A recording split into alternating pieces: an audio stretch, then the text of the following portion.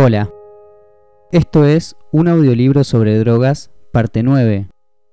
La autoría de este capítulo se le atribuye a Daniel Calvo, licenciado y doctor en ciencias biológicas e investigador del CONICET. Benzodiazepinas. Antes de las irrupciones estelares del Prozac 1987 y el Viagra 1998, en la escena de la farmacología mundial, la promesa más grande de felicidad en cápsulas eran las benzo, drogas sedantes utilizadas para tratar la ansiedad y el insomnio que reinaron en solitario durante tres décadas y que al día de hoy, pese a cierta mala prensa, no parecen haber perdido su sex appeal. Todo empezó en 1930 cuando el químico Leo Sternbach sintetizó una serie de tinturas entre las cuales se encontraban las primeras benzodiazepinas. Seguramente no imaginó que la fabricación de estos compuestos causaría 30 años más tarde una verdadera revolución en el área de la medicina psiquiátrica y tendría un tremendo impacto para la industria farmacológica. En 1955, Leo se convirtió en el capo máximo de uno de los laboratorios de investigación de la empresa Hoffman La Roche en Nueva Jersey, Estados Unidos, más conocida como Roche, pero esta vez con objetivos bien diferentes al de fabricar tinturas. En ese entonces se encontraba examinando las propiedades de un grupo enorme de sustancias con la intención de conseguir drogas con propiedades tranquilizantes. En un momento, en el laboratorio consideraron prescindir de varias sustancias que habían dado resultados negativos, entre las que estaban las antiguas preparaciones de benzodiazepinas. Pero, antes de proceder al descarte, un colaborador le sugirió testearlas nuevamente sobre animales de experimentación y, para su sorpresa, la inyección de benzodiazepinas produjo un fuerte efecto sedante en los roedores, probablemente debido a la elección de una dosis más alta que la usada anteriormente. A partir de este descubrimiento, que fue asumido públicamente como accidental, la empresa patentó inmediatamente la invención de las benzodiazepinas y apuró los ensayos en humanos para que se autorizara la venta. Pocos años después las introdujeron en el mercado acuñando el primero de una saga de nombres de fantasía que parecían salidos de un capítulo de Mad Men. La primera molécula comercializada fue el Librium, clordiazepóxido, en 1960, a la que le siguió el Valium, diazepam, en 1963. Luego se les sumaron más de 30 compuestos hermanos, entre los más difundidos están el roipnol, flunitrazepam, el atibam, lorazepam, el xanax, alprazolam, el clonopin y el ribotril, ambos clonazepam. En los años 60, el consumo de benzodiazepinas se hizo tan masivo en Estados Unidos y Europa que los Rolling Stones les dedicaron la canción Mother's Little Helper y en los 70 los típicos personajes neoyorquinos de las películas de Woody Allen se las mandaban como caramelos para calmar su angustia existencial. En 1977, las benzodiazepinas se convirtieron en los medicamentos más prescriptos a escala mundial. Hoy, a medio siglo de su introducción en la práctica clínica, las benzodiazepinas continúan siendo los tranquilizantes más recetados y vendidos del mundo. Calma tóxica. El motivo del éxito de estas drogas probablemente se deba a los cambios de ritmo y de estilo de vida a los que se enfrentaron los habitantes de grandes ciudades industriales plagadas de una enorme variedad de estímulos externos de naturaleza amenazante, condición que puede resumirse en una palabra, estrés.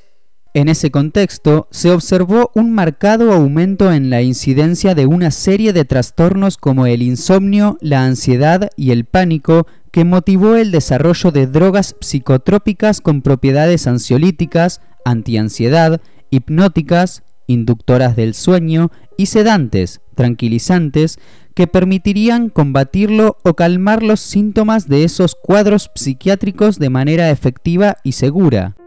La regla de oro de las investigaciones era básicamente encontrar algún tipo de droga que atacara estos cuadros, pero que a la vez no disminuyera las capacidades intelectuales y el rendimiento físico de los sujetos. Hasta ese momento, los únicos tranquilizantes relativamente efectivos eran los barbitúricos. Estas drogas, producidas desde los años 30 por el laboratorio Abbott en Chicago, Estados Unidos, son sedantes de corta duración, sus efectos duran solo unos minutos, que inducen el sueño a pequeñas dosis. El pentobarbital, popularizado como suero de la verdad en las novelas negras policiales de Raymond Chandler y otros, era el más utilizado en aquel entonces y es el único que sigue en carrera como sedante actualmente. Sin embargo, estas drogas no son adecuadas para tratar los síntomas de la ansiedad y, por ser muy adictivas, su consumo repetido puede ser bastante riesgoso. Como si eso fuera poco, la dosis necesaria para producir efectos sedantes está bastante cerca de los valores de concentración en los que estas drogas resultan letales, sobre todo si se consumen en combinación con bebidas alcohólicas de alta graduación. Son muchos los casos trágicos que fueron conocidos por involucrar a celebridades del espectáculo como Marilyn Monroe, Judy Garland, Brian Epstein, Jimi Hendrix y Elvis Presley, todos ellos víctimas de sobredosis de drogas en las que el empleo de barbitúricos jugó un papel decisivo. La única alternativa disponible antes de la aparición de las benzos era el meprobamato, muy utilizado en los 50 y menos adictivo que los barbitúricos, pero con una potencia sedante y ansiolítica muy limitada. Es así que hasta el surgimiento de las benzodiazepinas, los tranquilizantes disponibles eran peligrosamente tóxicos y producían efectos colaterales graves. En este sentido, una de las ventajas de las benzos fue su mayor seguridad, aunque, como veremos más adelante, no se trata de fármacos inocuos. Una vida de furia. El estrés y la ansiedad asociada a este es una respuesta normal del organismo que nos incita a estar alertas y preparados para tomar decisiones rápidas, un mecanismo de defensa fundamental en la historia evolutiva de todas las especies animales para sobrevivir ante potenciales peligros como por ejemplo salir corriendo ante un tigre dientes de sable. Es muy fácil reconocer estos episodios caracterizados por la aparición de emociones y pensamientos negativos y desagradables cuya raíz se encuentra en los procesos psicológicos y fisiológicos que se desencadenan al percibir un peligro real o imaginario. Las manifestaciones a nivel corporal pueden ser el aumento de la frecuencia cardíaca y respiratoria, transpiración, temblores, debilidad y cansancio, mientras que a nivel psicológico pueden surgir sentimientos de peligro inminente, de falta de poder o pérdida de control de la situación, tristeza, aprehensión o inquietud. Sin embargo, a diferencia de las épocas en donde las amenazas se resolvían más o menos rápidamente, ya sea porque las víctimas lograban escapar del peligro o porque el peligro se los comía, en nuestra sociedad moderna, estos estímulos se repiten constantemente y a veces de manera imperceptible. Esto termina generando desbalances de esta respuesta adaptativa seleccionada a lo largo de la evolución y, eventualmente, sobrevienen estados de ansiedad patológica tanto que tenemos un nombre particular para este estrés a largo plazo, distrés. No existe ningún tipo de dudas de que este tipo particular de estrés puede causar problemas graves en la salud psicofísica de las personas que van desde trastornos de ansiedad hasta gastritis y enfermedades cardiovasculares. Se estima que una de cada cuatro personas presenta distrés y esto generalmente ocasiona serias consecuencias de ausentismo e improductividad laboral. El grupo más afectado es el de las amas de casa, pero como lamentablemente su actividad no es remunerada, no se refleja en las estadísticas laborales. Se considera que el consumo de benzodiazepinas produce beneficios evidentes siempre y cuando se administren bajo estricto control médico y con un criterio adaptado a cada persona. Debido a su efecto sedativo y calmante, las benzodiazepinas se utilizan a corto plazo para tratar varios problemas de salud mental asociados al distrés, como alteraciones del sueño y de la alimentación, así como trastornos de ansiedad y miedo de diferente gravedad, incluyendo ataques de pánico. También son muy utilizadas durante los síndromes de abstinencia para calmar a los pacientes en los episodios de epilepsia y convulsiones febriles para reducir los espasmos y en diversos estados afectivos negativos que incluyen cuadros depresivos, agitación y comportamiento agresivo. En la previa de una cirugía, durante procedimientos menos invasivos, como ir de visita a los crueles e indispensables amos del torno, o durante una endoscopía, se usan también como tranquilizantes. Gracias, Benzos.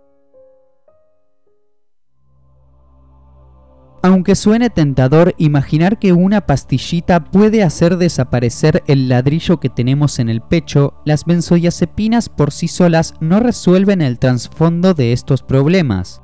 Cuando estas son prescriptas, se requiere de un trabajo conjunto y sostenido de psicoterapia y fármacos. Bajando un cambio. Las benzodiazepinas pueden ser administradas de diferentes maneras, por vía oral, intramuscular, endovenosa, rectal, una vez que ingresan al torrente sanguíneo, circulan por todo el organismo y se difunden al cerebro fácilmente donde se pegan a proteínas específicas que actúan como receptores localizados en las redes neuronales encargadas de bajarle un cambio a la actividad de varias zonas del cerebro, denominadas receptores de GABA, particularmente en la corteza cerebral y el sistema de recompensa. De ahí viene la magia de producir un efecto relajante. Naturalmente, la dosis juega un papel fundamental a la hora de desencadenar los efectos farmacológicos. A bajas concentraciones, las benzo comúnmente producen una sensación placentera de tranquilidad y eventualmente generan el deseo de querer visitar la cama, pero a dosis mayores la misma droga puede inducir un estado de confusión. Si se aumenta aún más la cantidad administrada, la persona puede perder la conciencia y si además se ha consumido alcohol, el riesgo es aún mayor ya que ambas drogas reducen la actividad de las neuronas encargadas de controlar el ritmo respiratorio. Cuando esto pasa, es de vital importancia el soporte médico. A pesar de ello, la sobredosis de benzodiazepinas muy raramente es mortal si no se han consumido al mismo tiempo otras sustancias psicoactivas. Más inusuales aún son los efectos paradójicos. Aunque poco frecuentes, se han visto casos en que algunas personas se tornaron agresivas o violentas después de haber tomado la droga, algo que posiblemente se deba a sus efectos desinhibitorios. Además de producir sedación general y relajación de los músculos, las benzos también pueden causar adormecimiento, mareos, falta de coordinación y disminución de la concentración y de la capacidad de estar alerta. Si a esta ecuación le agregamos la conducción de un auto o de maquinarias, resulta una fórmula para el desastre por el incremento de riesgo de accidentes. Conducir cualquier tipo de medio de transporte bajo los efectos de las benzodiazepinas, aún en dosis moderadas, es potencialmente peligroso para el usuario y la sociedad. Por el mismo motivo, se pueden producir caídas y lesiones en ancianos, aunque la población general no está exenta de este riesgo. Estas drogas también pueden causar deterioro cognitivo, como por ejemplo en el desempeño de tareas de memorización, como la memoria verbal. Los daños, de nuevo, son más severos si se las consume junto con alcohol. Otros efectos colaterales de las benzodiazepinas son la disminución de la libido y problemas de erección, resaca después de la ingesta, dolor de cabeza, depresión, desinhibición exacerbada, alteración del ritmo cardíaco, hipotensión, dolor de pecho, temblores, debilidad y varias otras cositas desagradables. Fácil llega, difícil se va. Debido a la facilidad para su compra y la falta de educación en la población general, las benzos no escapan al riesgo asociado a muchas drogas, como la autoadministración indiscriminada e inespecífica, el uso recreacional en combinación con otras sustancias y el consumo durante tiempo prolongado. El abuso de benzodiazepinas, además de producir deterioro cognitivo y psicomotor, puede generar tolerancia y llevar a la adicción. Hacia los años 80 se hizo evidente que las benzodiazepinas se prescribían innecesariamente. Se comenzó a advertir que ciertos pacientes desarrollaban dependencia luego de tratamientos largos y que, debido a la aparición de un síndrome de abstinencia, experimentaban dificultades para interrumpir el consumo. Entre sus quejas declaraban el haberse convertido en adictos. Después, diversas investigaciones demostraron que las benzodiazepinas podían producir una verdadera dependencia en las dosis que normalmente se utilizaban. Es así que desde 1988 las organizaciones de salud intervinieron para prevenir los perjuicios a la salud pública que ocasiona el mal uso y el abuso de estas drogas.